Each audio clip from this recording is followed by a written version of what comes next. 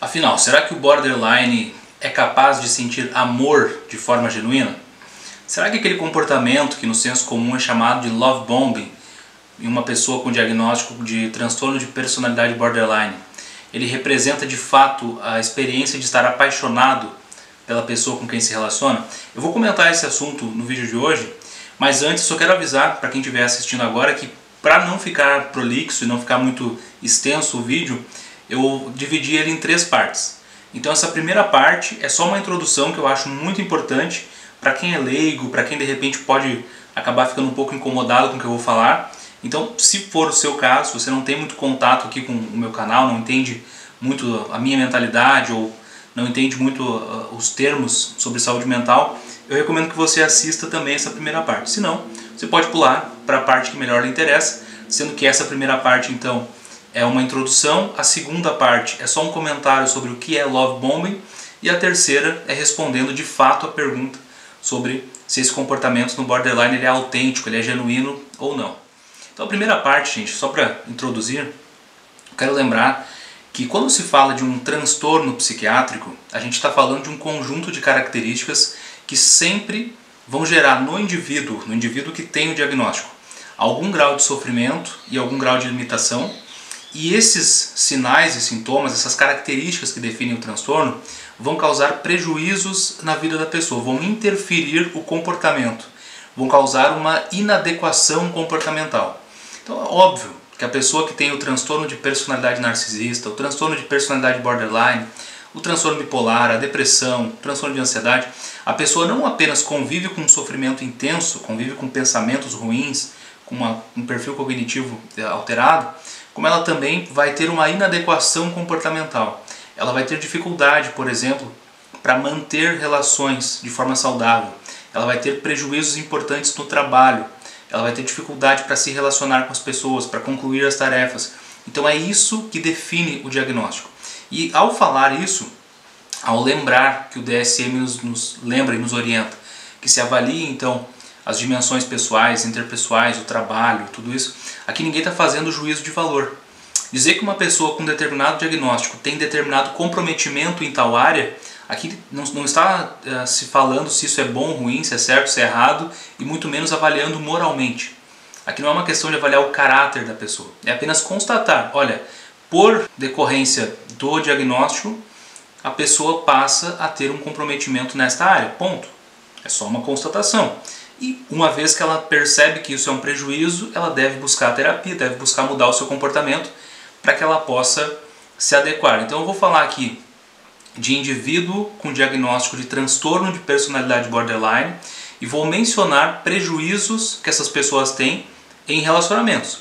O que a literatura científica já apresenta, já discute, que inclusive geralmente é a maior motivação da pessoa com personalidade borderline em buscar tratamento é conseguir mudar o seu comportamento de tal forma que ela passe a ter relacionamentos mais estáveis e saudáveis.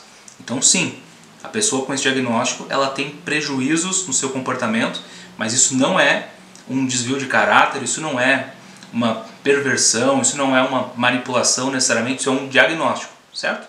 Então, entendida essa parte, gente, vamos para a segunda parte então que seria sobre se o love bombing, como é chamado no senso comum, se ele de fato ocorre quando o indivíduo com o diagnóstico está apaixonado pelo outro. Então a primeira coisa que eu quero lembrar, especialmente porque eu sei que tem muitos colegas psicólogos que me seguem aqui, é que sim, gente, eu sei que o termo love bombing não é um termo técnico, não é um construto teórico como alguns gostam de falar, eu sei disso.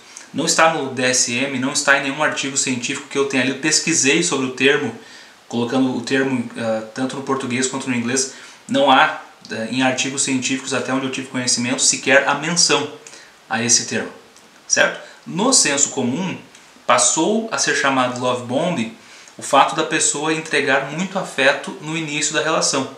A pessoa ficar apaixonada rapidamente e se entregar demais, demonstrar demais. E algumas pessoas que tiveram experiências com relacionamentos assim, elas se frustraram e elas acreditam que o love bombing ele sempre é uma manipulação. Então, a primeira é, correção que eu preciso fazer aqui é que nem todo mundo que desenvolve, né, que apresenta esse comportamento de love bomb estará necessariamente fazendo isso de forma deliberada.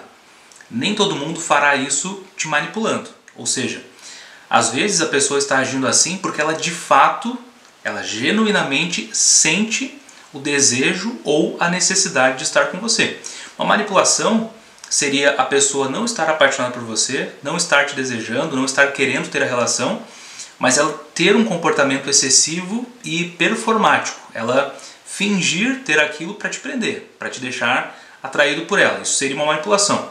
Em indivíduos com transtorno de personalidade borderline, esse comportamento, mais uma vez, que no senso comum é chamado love bomb, muitas vezes ele é autêntico, por assim dizer. Mas ele não necessariamente é por conta do amor. Muitas vezes ele ocorre por uma dependência, ele ocorre por um apego inseguro, por um apego dependente. O indivíduo com transtorno de personalidade borderline, ele tem muito medo da perda, do abandono, da rejeição social. Não só ele tem esse medo e essas crenças, como ele sofre muito quando isso acontece.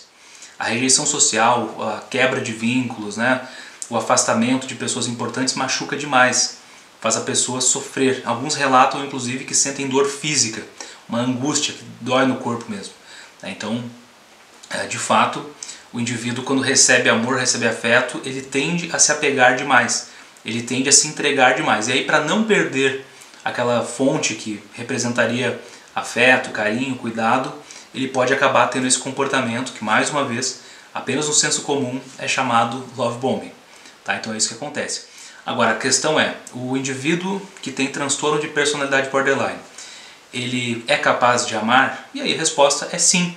Até onde eu tenho conhecimento, e li alguns estudos falando sobre isso, não só ele é capaz de amar, como ele ama demais.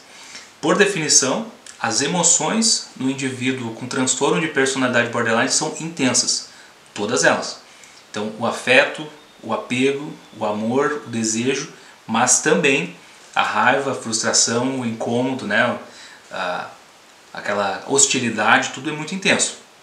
Então, o indivíduo com transtorno de personalidade borderline, não é que ele está fingindo te amar demais para te manipular e te fazer, causar sofrimento de forma deliberada. Não. Ele de fato se apega a você, ele de fato te ama, mas se for rejeitado ou se sentir machucado, provavelmente isso desencadeará uma crise. Na crise, ele poderá ter comportamentos agressivos. Sim, faz parte do diagnóstico também. E mais uma vez aqui, eu não estou dizendo que isso é certo nem errado, e principalmente não estou fazendo juízo de valor. Estou apenas lembrando. Isso acontece, tá? Então, óbvio, você que eventualmente se relaciona com alguém com o diagnóstico, não é obrigado a aceitar isso, não é obrigado a gostar disso, não é obrigado a submeter uma relação assim, mas se você não quiser permanecer na relação, você tem que fazer isso de forma adequada. Você não é obrigado a entender toda a fisiopatologia, entender que a pessoa tem um diagnóstico e tudo, mas tem que ter algum cuidado, o básico de empatia, né, envolvendo terminar com respeito, terminar com afeto, não expor a pessoa, não difamar, dar algum grau de suporte para a pessoa se organizar, enfim. É, comunicar claramente que você terminou, ser consistente, não ficar indo e voltando, não ficar é, criando esperança na pessoa de voltar com você, porque tudo isso vai piorar a situação. Então, basicamente seria isso. Espero que tenham gostado do vídeo e os comentários estão disponíveis aqui para quem quiser contribuir. Quem quiser fazer algum comentário ou tirar alguma dúvida, estou à disposição. Muito obrigado pela atenção e até o próximo vídeo.